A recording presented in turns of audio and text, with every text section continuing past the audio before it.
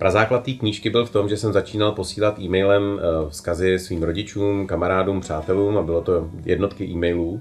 A ti lidé se mě začali ptát, takže já vlastně dneska tvrdím, že tu knížku jsem nenapsal. Já nejsem spisovatel, já jsem jenom zapisovatel. Já jsem zapisoval a odpovídal na to, na co se mě lidi ptali. Oni se mě ptali na jednu stranu třeba eh, kolegové z práce, co tam děláme za chirurgii nebo co tam děláme obecně za medicínu.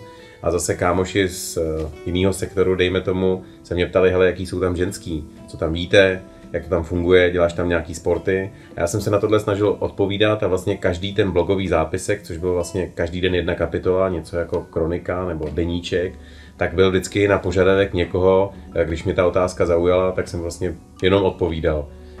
Nakonec se to z původních asi jednotek těch e-mailů roztáhlo na nějakých, dneska obecně tam 15 lidí a ti mi dávali dobrou zpětnou vazbu a říkali, hele, to by si mohl třeba zkusit vydat knižně.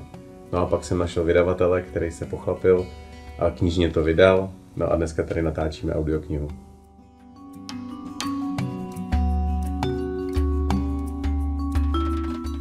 Tak z té knížky asi trošku vyplývá, že nemám problém si eh, věci vyzkoušet a rád to dělám. Rád zkouším nové věci. Když přišla ta skvělá nabídka, že bychom tu knížku udělali formou audioknihy, tak jsem se nemohl nezeptat, jestli bych si mohl zkusit jednu kapitolu načíst.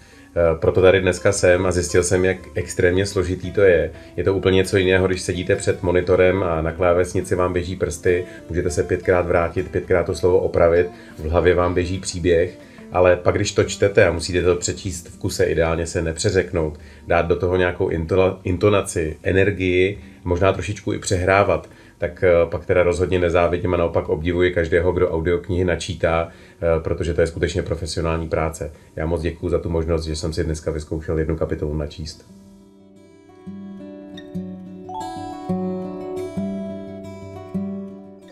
My jako lékaři bez hranic eh, nejsme dobří jenom v tom, že stavíme nemocnice a pomáháme lidem v místě, kde třeba není žádná jiná lékařská péče, ale jsme také, myslím, dobří v tom, že zprostředkováváme lidem, kteří nás eh, stabilně podporují, informace, co vlastně v těch projektech děláme.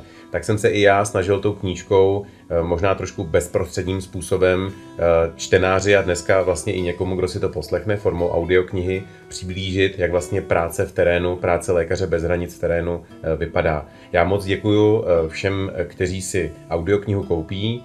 Audiokniha podpoří, nebo část toho výtěžku z té audioknihy podpoří opět lékaře bez hranic. Eh, prosím, aby čten, prosím čtenáře a posluchače, aby byl schovývavý a aby to bral spíš jako výpověď někoho, kdo rozhodně není literát, ale na druhou stranu doufám, že se mi podařilo zachytit opravdu každodenní život eh, na té misi a tu každodenní pomoc, eh, kterou lidem v nouzi poskytujeme.